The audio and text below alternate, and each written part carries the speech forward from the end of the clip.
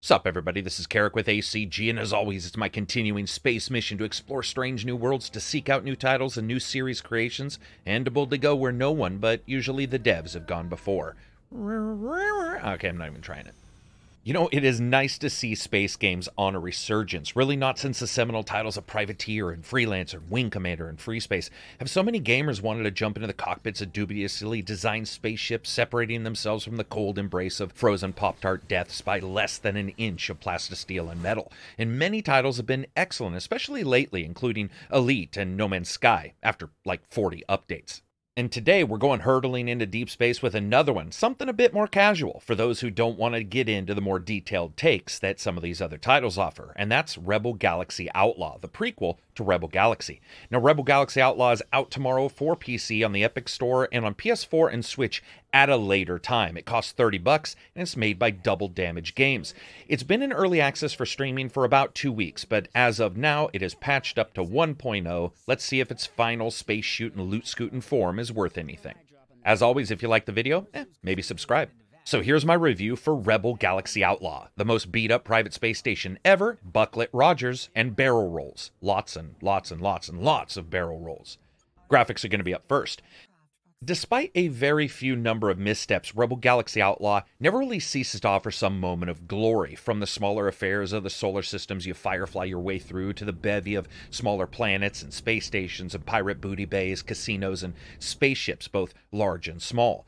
Running on the Ogre 3D game engine, the game actually looks very good. There's excellent visual flares like the dirty marks on a spaceship window when the light hits it just right, or moments when you come into or out of systems or warp that adds a very cinematic touch to it. Actually, who am I kidding? It straight up copies everything cinematic about Firefly and then just adds on to it. And I like that. Starships twist in useless barrel rolls as they proceed to jump from place to place to place to place, or scoop box it into a space station bay at speeds that would get Maverick busted. For a lower budget title, that freeform feeling really works. I dig it. The damage effects across the ship bow look really good where slugs have sliced across the metal or any of the ammo using weapons dropping shells into space as you fire them. There's a lot of small visual flares here that elevate the entire package.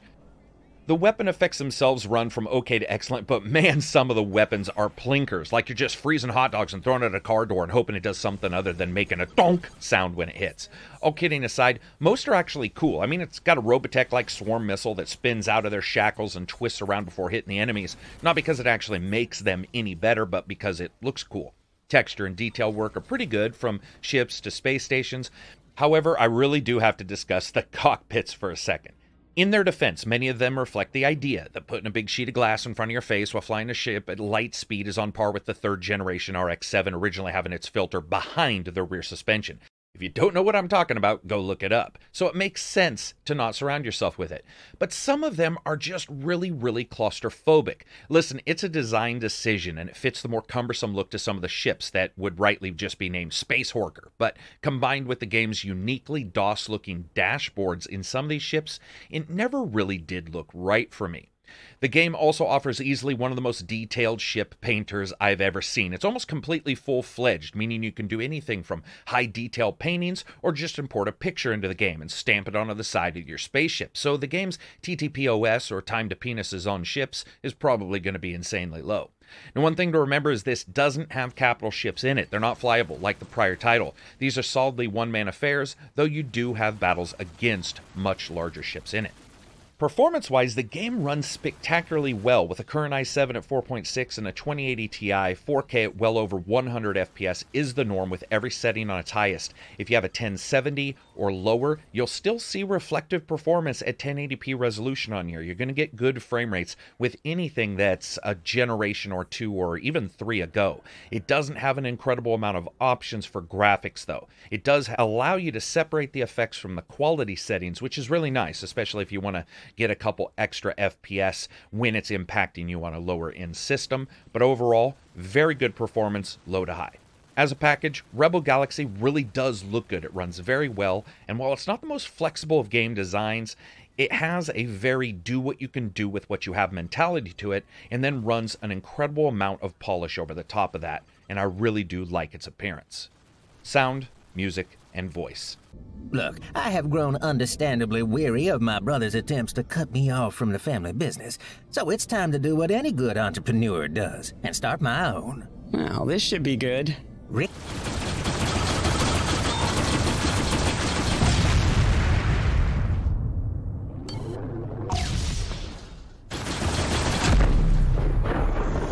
Rebel Galaxy. We got to do music first. There's just something about the original game's music score that worked so well, and here in Galaxy Outlaw, they double down, or maybe even quadruple, possibly even dectuple.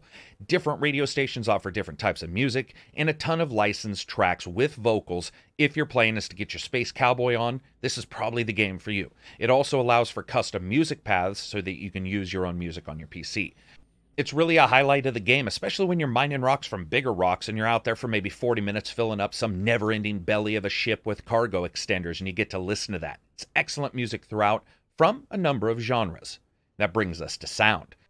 And sound is good. There's a high fidelity to most of the sounds and a good separation and 3D effects and acoustic flair here and there, as well as processing, like the thud of ejected pilots' bodies off your front window when you go to rescue them from deep space, but somehow hit the reverse thrusters button a bit too slow and you hard smash into them, or a missile impacting the back of the more Euro model looking fighters that you can get. I'm not going to lie, there are a couple of the weapons that I stated before just don't have the impact I would like. That's the game going for a bit more of a realistic tone, though, than it is really an actual issue with the sounds. Overall, pretty good. Voice. This is actually very well done.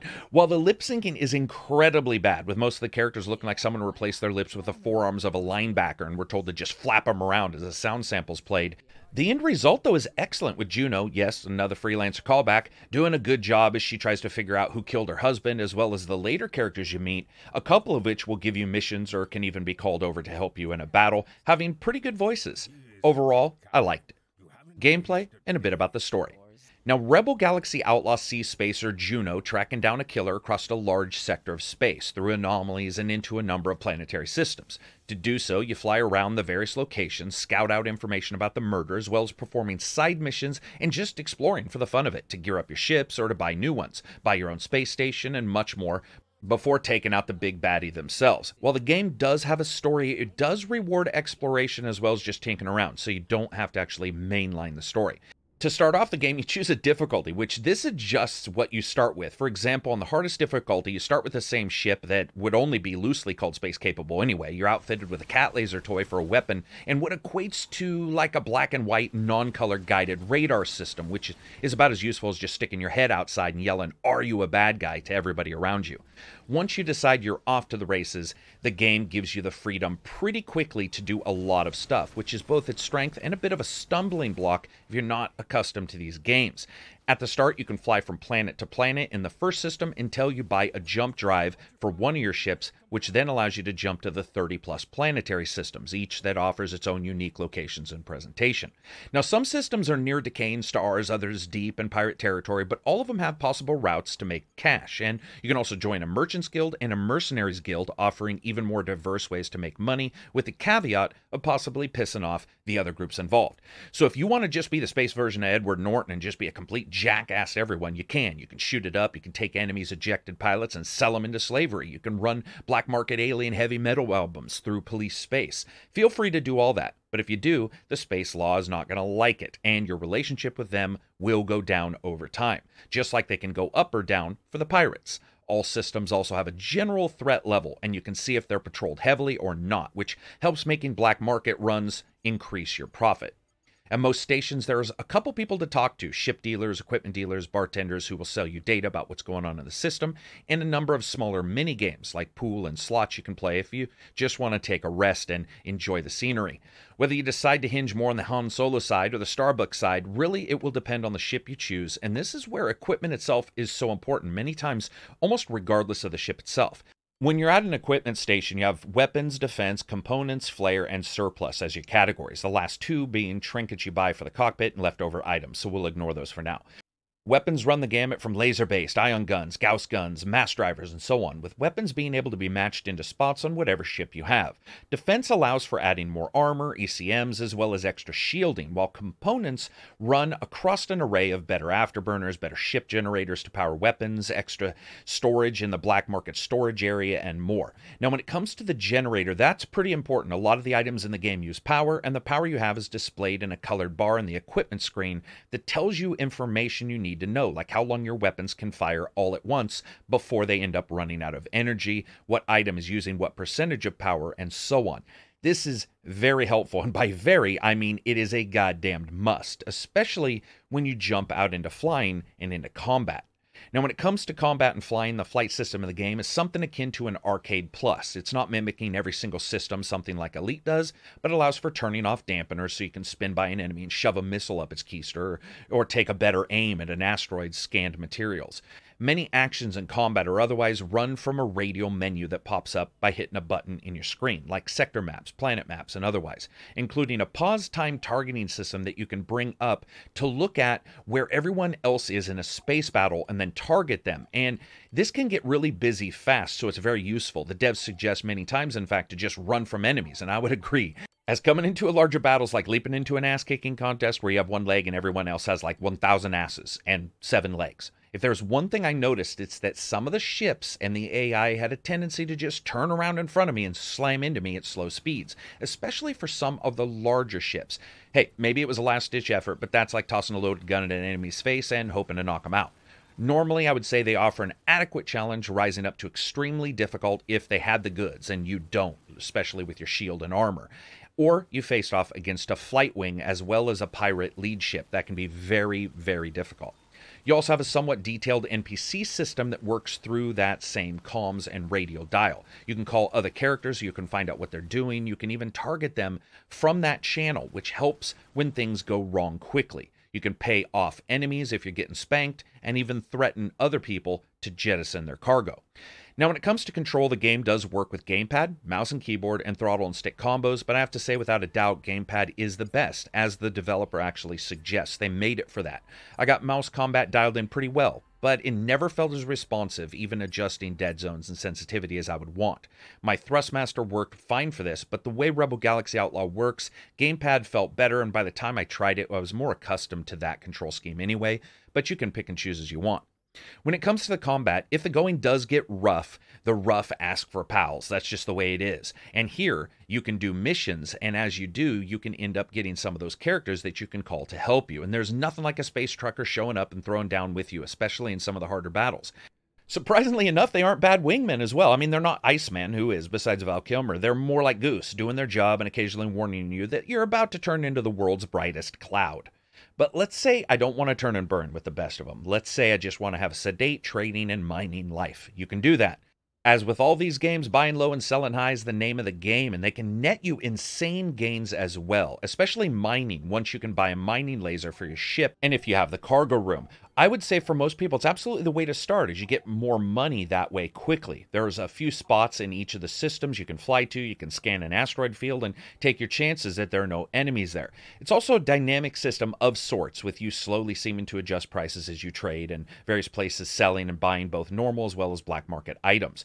You can also see a running tally of the last time an item was sold by you or the price it was entered into the galactic market last, which really does help trading.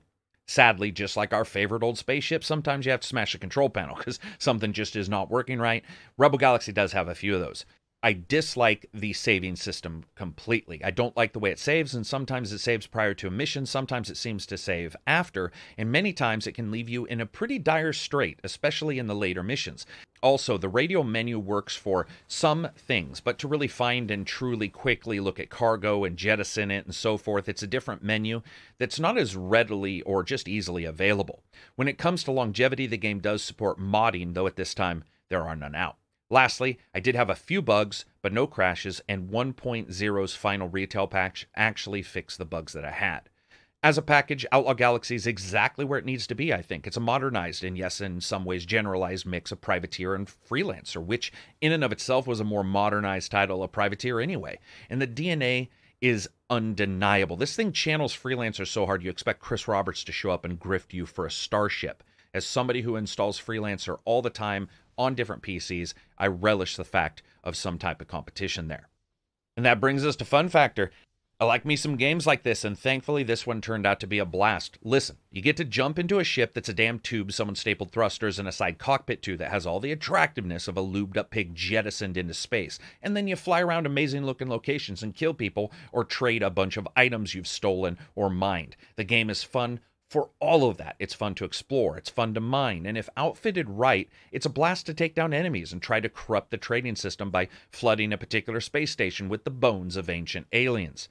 The sometimes lack of exactiveness in the controls and just sheer number of them can easily cause confusion, especially at first. And also, the lack of VR support, I think, for some people will be sad. But I gotta say, looking at the way the game's presented, it doesn't make any sense to make this game really VR. That doesn't fit.